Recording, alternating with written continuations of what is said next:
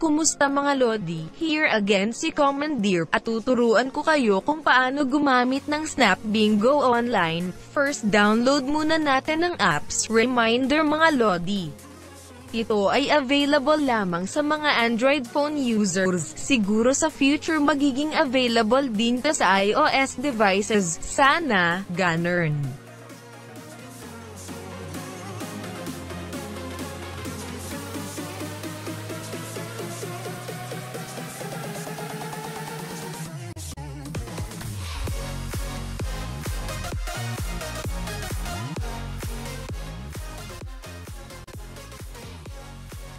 Now, punta muna tayo sa Play Store at search natin ang Snap Bingo. Ito yun, Bingo Color Verifier. Naka-install na siya sa akin so ready to open na siya, ganern.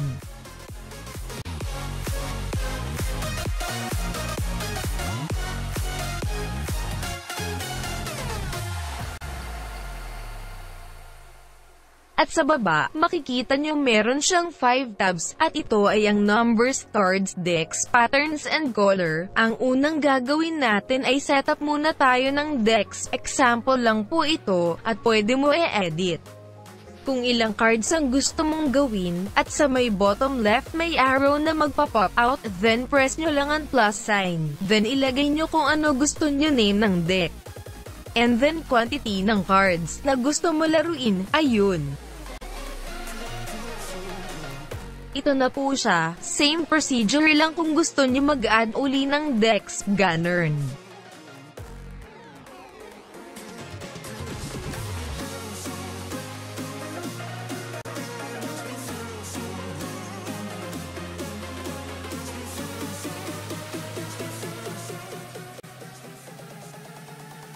Next, e-edit natin yung name ng card. Pag-click mo sa card, babaliktad siya, at pwede mo na palitan yung name ng card.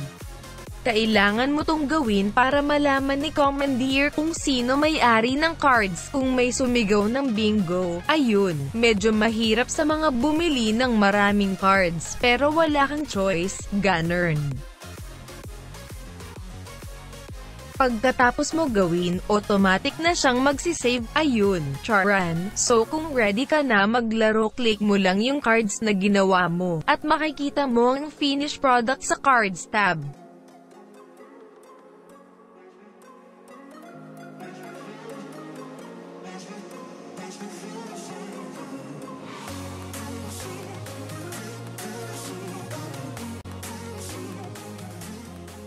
Next, numbers tab. Ito ay para sa pagtatantos BINGO. Pero bago ang lahat, ituturo ko muna sa'yo kung paano gumawa ng pattern. Press mo yung pattern tab, makikita mo dito may mga pattern na agad. Ayon, dahil may SSN si Commandeer ng customized pattern daily, kaya kailangan mo tong matutunan. So una, delete muna natin lahat para di ka malito.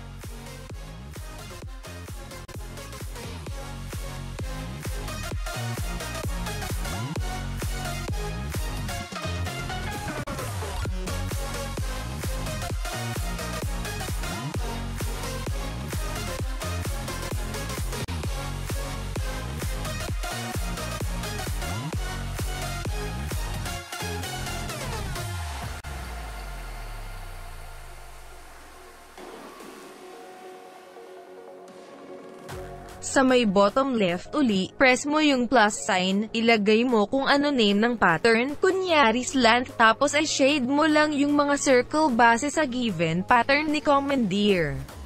Kasama sa shading yung middle circle or free slot, then na-save mo na. Ayun, ganun lang napakadali diba? Kung gusto mo magdagdag ng pattern same procedure lang pati sa block out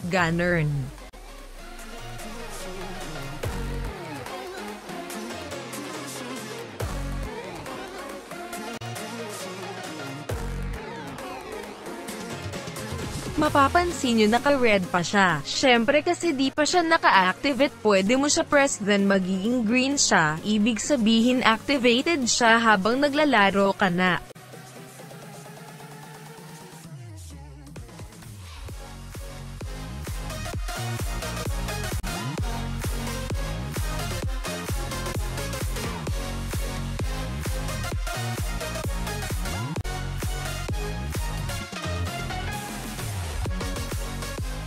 Bibigyan ko kayo uli ng example, ganito yon kung may itinawag ng numbers at meron ka base sa activated pattern, automatic matatentusan, at kung kumpleto mo na yung pattern ay bingo ka na. At ayun, magpa-pop out ang bingo pattern mo, example lang to mga lodi, ganern.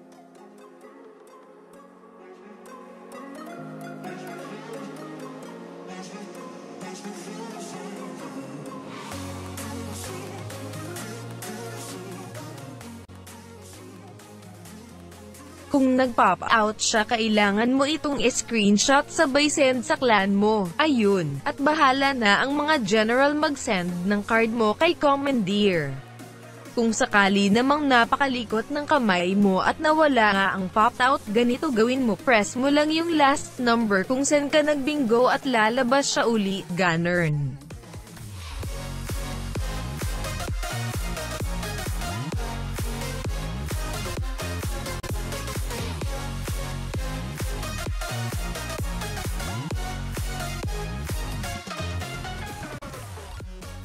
Kung natapos na ang given pattern kailangan mo e-deactivate ito para maging red para di ka malito sa mga susunod na pattern ayon.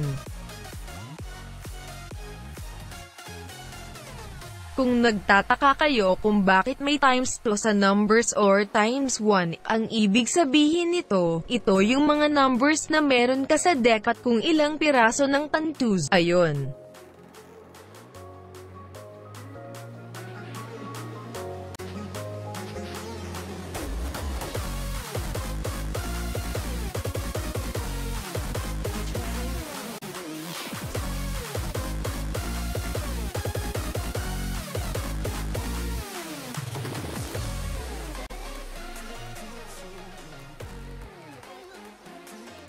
Ayon, ngayon setup naman natin yung Lucky Dobs na makikita nyo sa top right ng screen. Minsan kasi mag nasa mood si Commandeer. Magpapalocky first 12 or any lucky numbers na nasa iisang card. Kahit walang pattern bingo ka na basta sama-sama sila sa iisang card. Ganun din magiging green siya meaning activated na siya. Ayon. Reminder mga Lodi kailangan mo itong e-deactivate pag natapos na isigawan first 12 numbers kung bingo or di ka bingo para hindi ka malito, ganern.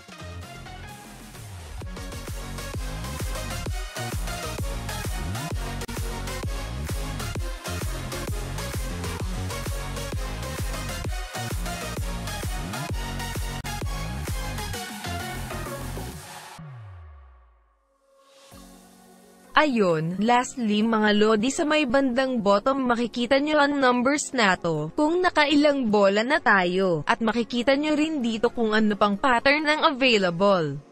Kaya don't forget to deactivate yung mga pattern na natapos na para di ka malito, ayon.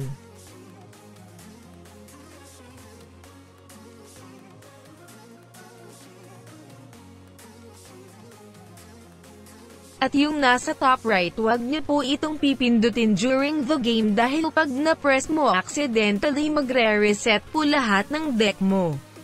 Pindutin nyo lang ito kung magsisimula na uli ang bagong game ni Commandeer Gunnern.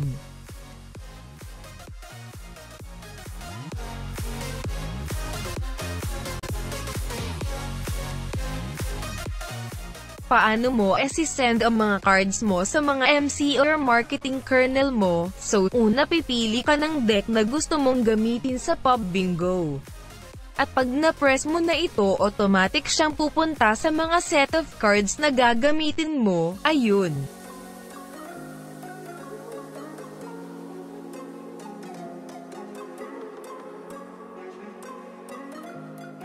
Tapos sa may top right may deck share na button press mo lang ito.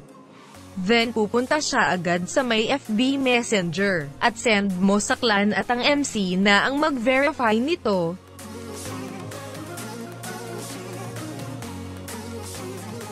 And take note mga Lodi pag na-send na hindi na siya pwedeng palitan. Yun na ang lalaruin nyo sa Pub Bingo, Ganern.